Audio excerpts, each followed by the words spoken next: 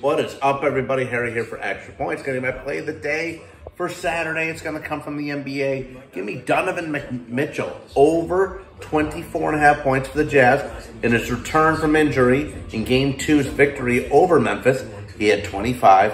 And in his two meetings against Memphis during the regular season, he went for 35 in both. Mitchell gets it done in Tennessee on Saturday night. Over 24 and a half points is the play. For extra points, I'm Harry. Everybody have a great weekend. See ya.